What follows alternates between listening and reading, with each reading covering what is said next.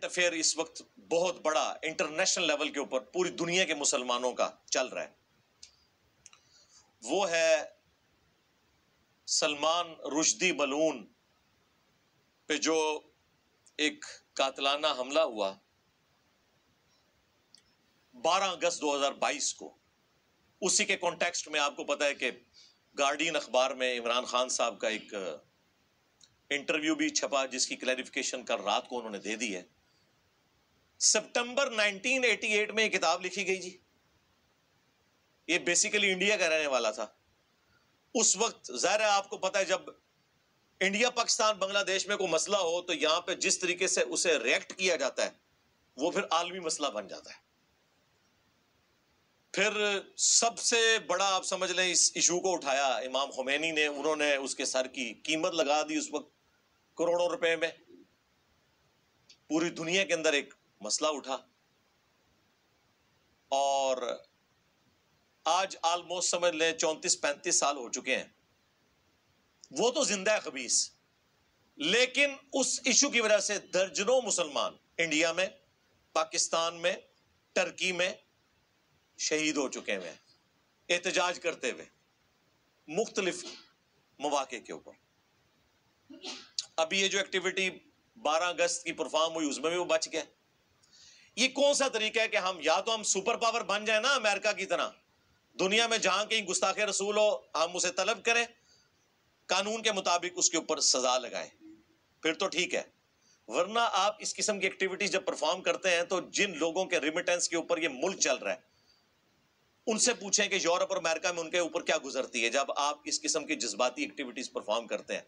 और यहाँ TV channels पे बैठ के इस तरह की एक्टिविटीज़ करने वालों को हीरो बना के पेश किया जा रहा होता है।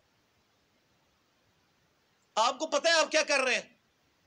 अब दुनिया पढ़ लिख गई है, आपकी इन्हीं हरकतों की वजह से मुसलमानों के बच्चे सेकुलर हो रहे हैं। बाज एथियस्ट हो रहे हैं कि यार ये किस किस्म के जहन रखने वाले लोग हैं? क्या इस्लाम ने ये बात की है कि आपने एक्स्ट्रा जुडिशियल एक्टिविटी परफॉर्म करनी है? अब वो जो रवायतें लेके आते हैं, उन उन रवायतों के मुकाबले पे बुखारी, मुस्लिम में कितनी हदीस मौजूद है? आज मेरा वो टॉपिक नहीं है, वरना फिर रुख और तरफ़ चला जाएगा। मेरी आप वीडियो देख लें। इमाम इबन तैमिया और गुस्ताख रसूल की सजा जो उन्होंने किताब लिखी थी ना सारिमुल अला शातिम रसूल, उसका मैंने पूरा पोस्टमार्टम किया था। और वो तो खैर एक अलग बात है। हमारे नज़दीक तमाम गुस्ताहान रसूल जो आदि मुजरिम है और अपनी हरकतों से बाज नहीं आते, वो वाजिबुल कत्ल है। फसाद फिल अर्द, सूरतुल मायदा की आयत नंबर 33 के तहत। लेकिन एक तरीके के साथ। एक्स्ट्रा जुडिशियल मावराए अदालत तरीके के साथ नहीं, अदालत। और अगर अदालत इंसाफ ना दे तो फिर आप अपने आप को इतना मज़बूत करें कि हम अपने मुजरमीन को पाकिस्तान की अदालतों में उनके खिलाफ केस चला सकें। इसकी बजाय आप इस तरह के जब गुरीला तरीके अडॉप्ट करते हैं, इसका नुकसान मुसलमानों को होता है, बाद में भुगतना पड़ता है। तो यही चीज़ इमरान खान साहब भी कहना चाह रहे थे। अच्छा अब वो किताब की तरफ़ आप आ जाए सटैनिक वर्सेस यानी शैतानी आयात नाउदुबिल्ला ये उसने उसका टाइटल रखा। इंतहाई फजूल किताब है, कोई इल्मी बैकग्राउंड नहीं उस किताब की। और मैं तो हैरान हूँ, इस किताब को इतना उठाया क्या, उसमें है क्या? तखयुलाती चीज़ें। एक तलिस्माती स्टोरी के अंदाज में वो लिखी गई एक जाली रवायत को बुनियाद बनाकर एक पूरे का पूरा उसने नैरेटिव खड़ा किया, जिसकी असल कुरान सुन्नत के बिल्कुल मुखालिफ थी। इस किस्म की जाली रवायतें तो हमारी किताबों में मौजूद हैं। भाई, जिस रिलीजन के मानने वालों ने 10 से 15 साल के अंदर सदियों की रोमन और पर्शियन अंपायर्स को उखाड़ के रख दिया हो तो आप क्या समझते हैं कि उसके दुश्मन पूरी दुनिया में कितने होंगे? तो क्या वो जाली रवायतें दाखिल नहीं करेंगे हमारी किताबों के अंदर? बुखारी और मुस्लिम दोनों में हदीस है। मुस्लिम की पहली हदीस यही है, मौला अली सलाम से, कि रसूलुल्लाह ने फरमाया सल्लल्लाहु वसल्लम, जिस शख्स ने मेरी तरफ़ झूठ मंसूब किया, वो अपना मकाम जहन्नम में देख ले। क्योंकि रसूलुल्लाह को पता था कि झूठी रवायतें घड़ी जाएँगी बाजुकात उम्मत के वसीतर मुफाद में भी घड़ी जाएँगी। इमाम मुस्लिम ने सही मुस्लिम के अंदर मुकदमे में ये लिखा है, जो मुस्लिम का पार्ट है, पहली 92 रवायतें मुकदमा है, कि मैंने नेक लोगों की ज़ुबान के ऊपर फिल बदी झूठ जारी होते हुए देखा है, वसीतर मुफाद के अंदर दीन के। आज भी आप देख लें कितने वाइजीन है, कहानियाँ, स्टोरियाँ सुना रहे हैं। मुस्लिम के मुकदमे के अंदर लिखा हुआ है कि इब्ने मसूद कहते हैं, बाजुकात शैतान इंसानी शक्ल में आके हदीस बयान करके चला जाता है और लोग वो हदीस फैलाना शुरू कर देते हैं। जब बाद में पूछा जाता है, किसने बयान की तो वो कहते हैं, इधर एक बंदा आया था, एक आवाज़ आई और वो शैतान होता है। ये असमाउ रिजाल का जो इल्म है, हदीस की चेन्स और एक एक बंदे का तारुफ, ये किस लिए रखा गया? इसीलिए ताकि कोई झूठी रवायतें हमारी किताबों में दाखिल ना कर सके। और ये इतना क्रिटिकल इशू है कि इमाम मुस्लिम ने मुकदमे में लिखा है कि इस पे इत्तफाक है कि ताबी की मुरसल कोई शय नहीं है। यानी अगर कोई ताबी जिसने नबी सल्लल्लाहु अलैहि वसल्लम को नहीं देखा, सहाबा को देखा है, सहाबा की सोबत की है, अगर वो भी कोई रवायत बयान करे और सहाबी को मेंशन न करे, डायरेक्ट रसुल्ला से फरमान बयान कर रहा है, उसकी रवायत मरदूद है। क्योंकि उसने तो जमाना नहीं पाया। और यही इसी किस्म की एक रवायत है जिसकी बुनियाद के ऊपर स्टैनिक वर्सेस किताब लिखी गई। वो इंशाल्लाह मैं ब्रीफ कर दूँगा। चले, आज तो मुझे मौका मिला। मैं बड़े अरसे से चाह रहा था, लेकिन वो मैं इसको इसलिए हाथ नहीं डालता था कि अगर हम इस तरह के टॉपिक्स पे बोलेंगे, कहेंगे, जी देखें जी, गड़े मुर्दे उखाड़ रहे हैं ये। हूँ तो एक मुजाहिद मिलत ने खाम खाई गड़ा मुर्दा उखाड़ देता है। ठीक है? वो कातलाना हमला उसके ऊपर करके तो अब चूँकि एक मौका मिला तो मैं आपको थोड़ा बहुत आइडिया एक मुसलमान को होना चाहिए कि ये उसने काम क्या डालने की कोशिश की है इस किताब के अंदर। उसको तो हम पहले से ही कंडेम कर रहे हैं इस हवाले से। बेसिकली सूरतुल हज की एक आयत है, आयत नंबर 52 उसके कॉन्टेक्स्ट में आप जितनी भी कुरान की तफसीर है वो उठाएँगे तो आपको ये वाक्य मिल जाएगा। सूरतुल हज की आयत नंबर 52 में पहले आपके सामने बयान करूँगा और फिर मैं आपसे पूछूँगा कि इसमें से इस तरीके से रिज़ल्ट निकालना, जबकि उस आयत की तफसीर कुरान के अंदर कई जगह पे मौजूद हो। कितना बड़ा जुल्म है कि आप किसी एक झूठी रवायत, एक ज़यीफ रवायत, और ज़यीफ भी इस दर्जे की कि उसकी साबी तक सनद ही ना जाए, ताबी तक जाए, मुरसल रवायत, छूटा हुआ वास्ता उसको ज़यीफ जमा ज़यीफ जमा, ज़यीफ करके हसन बनाने की कोशिश कर दें। कितना बड़ा जुल्म है। और ये इतना बड़ा जुल्म हुआ कि शेख नासरुद्दीन अलबानी सऊदिया के जो मुहदस आज़म भी रह चुके हैं, अल्बानिया के थे बेसिकली उन्होंने बकायदा इस रवायत के रद्द के ऊपर पूरी किताब लिखी है। हाफिज इबन अजर अस्कलानी के खिलाफ। उन्होंने कह दिया कि जी, काफ़ी सारी जयीब रवायतें मिली हुई हैं तो कुछ ना कुछ तो हुआ होगा। ठीक है। हालाँकि अलबानी खुद कायल है कि दो, तीन, चार रवायतें मिल जाए ना, अगर जमा के सीगे में तीन से ज़्यादा तो जयीफ जमा जयीफ जमा, जयीफ हसन लिगैरी बन जाती है। लेकिन यहाँ उनको भी पता चल, ये अलबानी साहब ने किताब इबन अस्करानी के खिलाफ नहीं, अपने खिलाफ भी लिखी है कि जयीफ जमा, जयीफ का फार्मूला लगा के किसी हदीस को सही करार देना, ये कितना नुकसानदेह है। मैंने आज से ऑलमोस्ट दस साल पहले भी इस रवायत को बयान किया था। आ, मसला थर्टी सिक्स के अंदर ज़यीफुल इसनाद और मन घड़त अदीस का फितना कि अगर ज़यीफ रवायतों को माना जाए तो एटलीस्ट तीन हदीस की किताबों में यह रवायत मौजूद है लेकिन सनद उसकी मुतसिल नहीं है। तो अब तीन ज़यीफ रवायतें मिलके और आठ नौ इसके मजीद तुरुक मिलते हैं तो हम इसे ज़यीफ जमा ज़यीफ जमा ज़यीफ जमा ज़यीफ करके हसन बना देंगे? नहीं। ज़यीफ जमा ज़यीफ जमा ज़यीफ पक्की ज़यीफ ये शैतान ने फैलाई है, इस किस्म की बातें।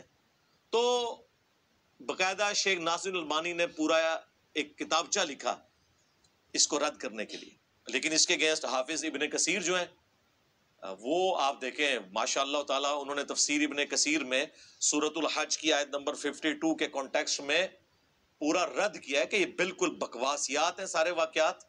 एक एक सनत के ऊपर उन्होंने बहस की, उन्होंने कहा संदे तो मुतसिल ही कोई नहीं है। खाम खा, आप इसके ऊपर बात कर रहे हैं।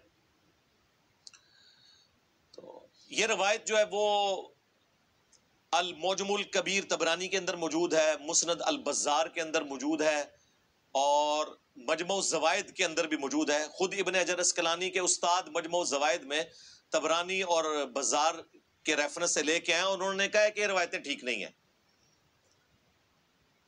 हमारे पास तो अब ये उर्दू तजमे के साथ तबरानी भी आ चुकी हुई है और मजमो जवायद भी आ चुकी है, अल्हम्दुलिल्लाह।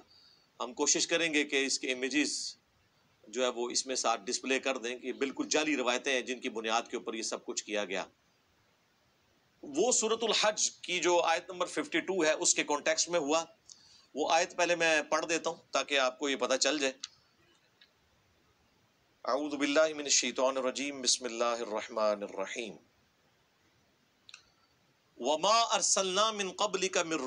वला नबीन और कोई भी ऐसा रसूल आप सल्लल्लाहु अलैहि वसल्लम से पहले नहीं गुजरा और ना कोई नबी इल्ला मगर ये के यानी तमाम अंबिया और रसूलों के साथ ऐसा हुआ क्या हुआ इदा तमन्ना कि जब उसने कोई आरज़ू की, अब ये तमन्ना के अरबी में दो माने हैं। एक है ख्वाहिश करना, कोई एफर्ट पुट करना दीन की सरबुलंदी के लिए, और एक है कि जो उस पर किताब नाजिल हुई है, उसकी तिलावत करना। ये दोनों माने बैक वक्त दुरुस्त है। और दूसरे माने को फिर घसीट के उन्होंने उसमें फिट इन किया। वो आपको पता चल जाएगा। अलकशैतानुफी उमनीयती ही। तो शैतान भी उसकी उस तमन्ना के अंदर अपना हिस्सा डाल देता था। यानी अब अगर वो कोशिश कर रहा है तो शैतान क्या हिस्सा डालेगा कि उस कोशिश के अंदर रुकावटें खड़ी करेगा? और अगर वो तिलावत कर रहा है तो वो फिर इस किस्म की कोशिश करेगा कि ऑडियंस तक उसका कोई गलत फार्म पहुँचे और वो गलत रिज़ल्ट निकाल ले। ये दोनों माने वक्त दुरुस्त है। फयन शैतान तो अल्लाह ताला जो शैतान ने इल्का किया होता है ना, ये शैतान की कोई एफर्ट होती है, उसे तो हटा देता है। सुम्मा आयाती। उसके बाद अल्लाह अपनी आयात को मुहकम कर देता है। वल्लाहु अलीम हकीम। और अल्लाह ताला इल्म वाला और हिकमत वाला है। और साथ इससे अगली आयत में इसकी हिकमत भी बयान हो गई है।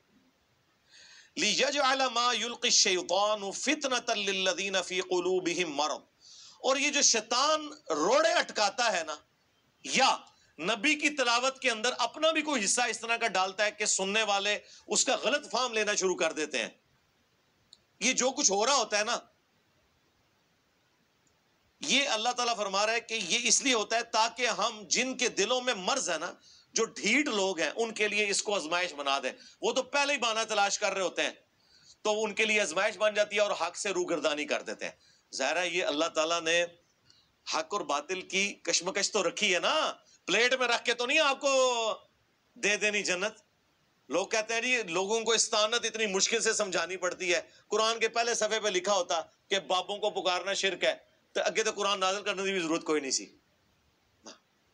अल्लाह ताला ने ईया का नाबुदू व ईया का नस्ताइन बयान किया और फिर आगे चल के उसको, मजमून को खोला। लेकिन उसको इस तरीके से बयान किया कि अगर कोई बेईमानी पे उतरा हुआ हो, वो इसके ज़रिए गुमराह हो, जो सूरतुल बकरा में आया अल्लाह की वजह से नहीं, बल्कि आजमाइश की वजह से। दुनिया में कौन सा गुना है जो अट्रैक्ट नहीं करता इंसान को? अल्लाह ने गुना में अट्रैक्शन क्यों रखी हुई है? ताकि इंसान उसकी तरफ़ मायल हो और फिर अपनी अकल के ज़रिए अपने आप को काबू करे और गुनाह से बच के जन्नत कमा ले। और जिसने उसके ऊपर गिर जाना है तो जहन्नम में ही जाएगा ना। ज़बरदस्ती नहीं हो रही होगी, वो अपनी मर्ज़ी से कर रहा होगा। इसी तरीके से यहाँ पे भी ऐसा ही हुआ। तो अल्लाह ताला माता ताकि वो आजमाइश बन जाए उनके लिए। वलकासियती और जिनके दिल के अंदर सख्ती मौजूद है ना, उनके लिए ये फितना बन जाए। वह इन वालमीन लफ़ी शिकाक बईद, और बेशक जो जालिम लोग हैं, जो हटदर्मी पे उतरे हुए हैं, वो तो दूर की बदबख्ती में गिर पड़े हैं। और ये इसलिए भी है कि ताकि जो अहले इल्म है ना, जो हक हासिल करना चाहते हैं, उनका रिज़ल्ट बिल्कुल डिफरेंट होगा इस तरह के कामों से। वो क्या होगा? अन्नहुल हक मिर रब्बिक। कि ये बेशक हक है उनके रब की तरफ़ से। फयुमिनु बिही। बस वो उसके ऊपर ईमान ले आएँगे। फतुख बितलहू और उनके दिल भी इस किताब की तरफ़, इस दीन की तरफ़ झुक जाएँगे। आमनु और बेशक अल्लाह ताला तो हदायत देता है उनको जो बात मान लेते हैं। या ईमान वाले। ईमान वाला वही होता है ना जो बात मान लेता है। इला सिरात मुस्तकीम, सीधे रास्ते की तरफ़। तो ये वो आयत थी जिसमें बिल्कुल वाज है कि जब पैगंबर कोई एफर्ट पुट करता है दीन की सरबुलंदी के लिए तो शैतान रोड़े अटकाता है तो अल्लाह ताला फिर अल्टीमेटली पैगंबर को निजात दे देता है, अहले ईमान को। और नेस्तो नाबूद कर देता है पैगंबर के मुखालफिन को।